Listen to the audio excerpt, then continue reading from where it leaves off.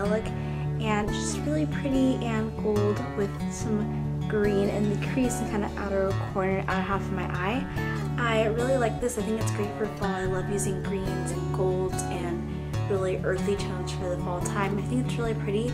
It would be great if you're going out, if you're going to a party or something because it is really um, bold and dramatic. And I love this look and hopefully you guys will like it too. So let's just get started with the tutorial.